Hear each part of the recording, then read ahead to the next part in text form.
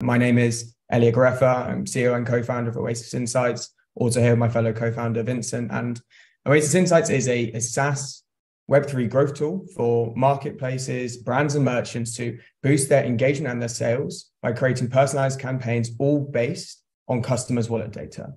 And as context, this is a quote by Alex Danco, head of blockchain at Shopify. And I really like this quote because um, it tells you a lot, right? There's a new kind of buyer on the internet, and these are buyers with wallets, and they tell something really meaningful about who a person is. And they can really be thought of in a way about the same as uh, cookies in the Web 2 space. And there's a huge amount of data available, and only if it's used effectively. And this is a gold mine for marketers. There's over 400 million wallets out there, and you can tell lots of different elements of data about those wallets, things like demographics, interest behavior, and specific data points, things like net worth, their interests, what kind of behavior are they making. And this creates a massive opportunity. We know that there are companies in this space already spending huge amounts of money. You've got 50 billion already spent within the commerce space. And companies want to be able to leverage this data for things like acquisition and marketing, where you already see companies typically spend around 5 to 10% of their revenues on this kind of activity. But there's very much a problem at the moment. It's difficult for Web3 companies to be able to understand data on customers and then be able to create campaigns from it. Companies that we speak to, they have just sections of raw data, aren't able to necessarily get insight on it. And then, even if they are able to get the insight, how do they actually do anything with it and create effective campaigns that can get better acquisition and marketing? Even customers we speak to are painstakingly creating tools to get around this issue. Now, the solution Oasiis Insights is we create insights and personalized campaigns specific to Web3 audiences and this leads to increasing engagement and sales. Now, the way that we do this is we use um, data tags to create personalization. And this is a very specific campaign, one of um, the select that we have. And this talks you through the kind of journey that a customer would get once a campaign set up. So a customer would go to an NFT marketplace, for example, they would be able to see that there is an exclusive um, discount offer that they can receive. They would connect their wallet. And once they connect their wallet, they're able to then um, also enter their email, which allows us to make a Web 2 to Web 3 connection. And then they're able to receive that personalized offering specific to their wallet, which better converts them. Now, to bring to life, this is an, an NFT marketplace mock up. And you can see here it's very generic, right? It's exactly what you would typically see at a marketplace, just the standard popular live bidding sections. Now, if you're able to connect your wallet uh, as, a, as a user, and then they were able to understand something about you, we then know that we're able to personalize that offering. So you get products specific to your interests. Now we can see here the amount that this wallet owns, and we also understand interests that they have. And you can see here, these are exclusive NFTs specific to them. Now, this is incredibly powerful. You can know that you're going to get higher engagement. You know you're going to be able to direct sales because of the fact that you're able to personalize the offering that they have. Now, how do we do this?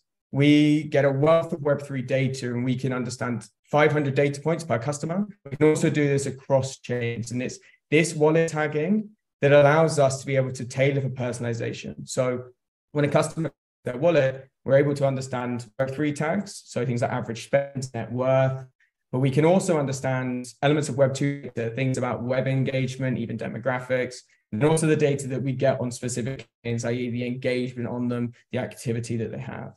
And then this allows us to create these personalized campaigns. Now we have a very easy to use dashboard. And from there, you can understand the customer analytics, your CRM, but also the easy to set up campaigns. And we went through one, which was on site product recommendations, but we also have things like exclusive offers, being able to upsell, and also personalized marketing. And these have clear results, uh, engagement. We've already spoken about increased sales, loyalty, and, and increased revenue.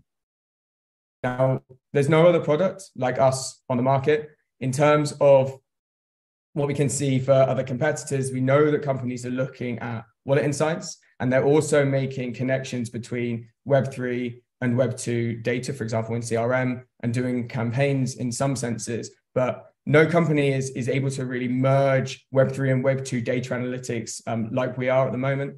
And we also run very unique campaigns that isn't elsewhere offered in the market around personalized product recommendations, which is a unique area which we know works in Web 2, which we're bringing to Web 3. which also is another unique area around integrating directly um, with on-site, you know, marketplaces and storefronts. Now, in terms of our, our traction so far, we've seen great interest from a range of customers, um, particularly marketplaces. Um, one call out is we've got Montre, one of the biggest watch marketplaces in the world, going into um, the Web3 space and excited to use our product on launch. We also have Web3 projects interested in us. We have um, Partouche, which is a massive um, gambling house, and they are entered into Web3 and ready to use our product as well. And we also have a big amount of interest in the e-commerce space. Shopify um, have yeah, lots of interest in terms of the Web3 standpoint, and we already have over 550 people in our Shopify community.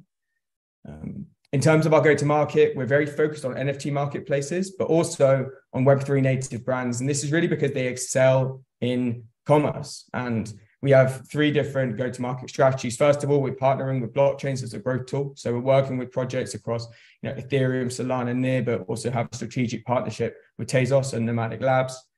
We're partnering and integrating with white label platforms, but also marketplaces so we can integrate with them and offer our solution. And also integrating with e-commerce platforms, like I mentioned, partner of Shopify. In terms of our pricing model, we aim to have a very accessible pricing model, which means that it's um, easy to kind of just use straight away. So we have a free model, which gets you very basic insights on a limited number of wallets.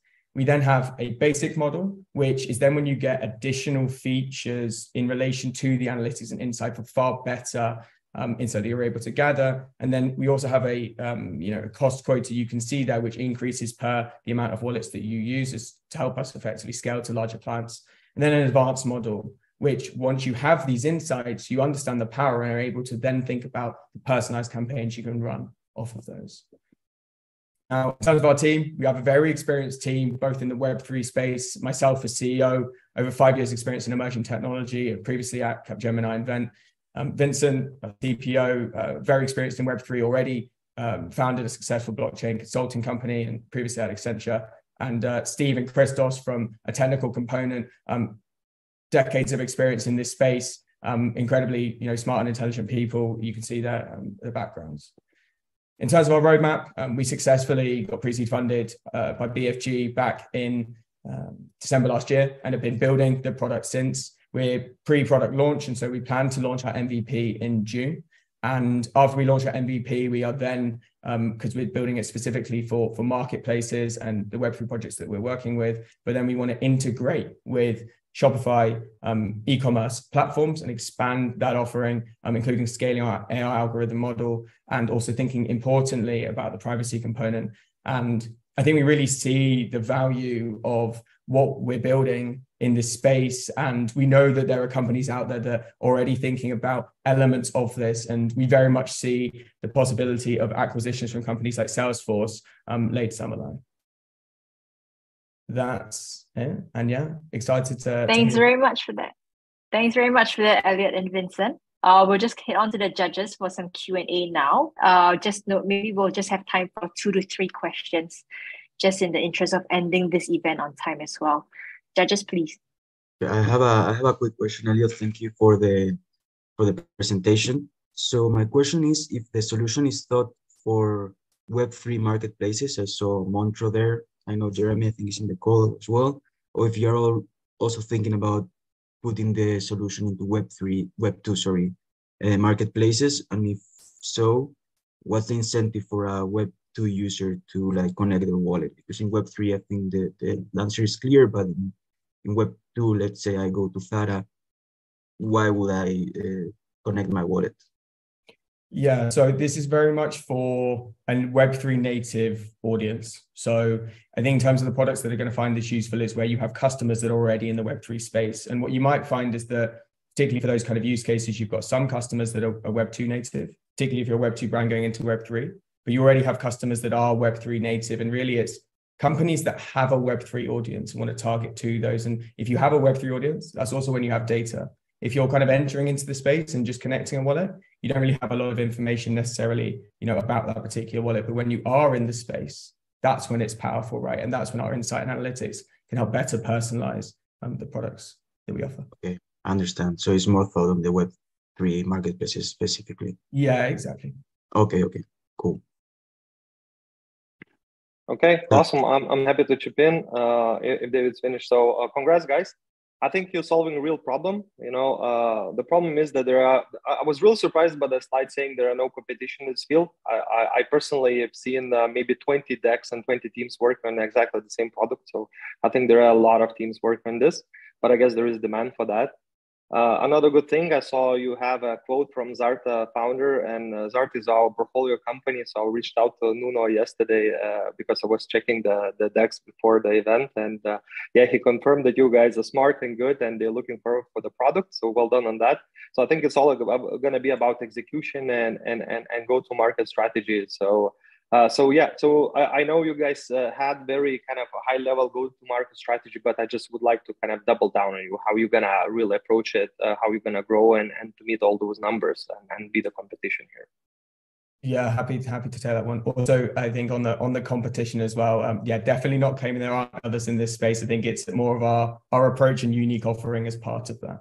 Um, but in terms of our go to market, really, um, we're seeing a massive amount of interest from blockchain ecosystems themselves that are looking to better expand and increase the success of the projects that they have building on their on their platform. So we have a very close relationship with, with Tezos, Nomadic Labs, and they're very excited about the products because effectively we're a growth tool for their ecosystem. And we're building the same relationship with other blockchains as well to then continue to talk to projects to kind of have that, um, yeah, best interest to kind of scale and get the word out there. So that's very much a, a model that's worked well so far. So we're planning to expand there. I think once we've successfully, you know, launched and have first paying customers, the idea is to quickly integrate within the more uh, sort of current e-commerce space, I would say. So, for example, in Shopify, where there's a massive amount of, of Web3 adoption that's beginning, but we wanted to kind of expand first into the Web3 space because we know that there's obviously more data and wallets available. But later down the line, as we see greater adoption, we think that Shopify is going to be um, a big opportunity.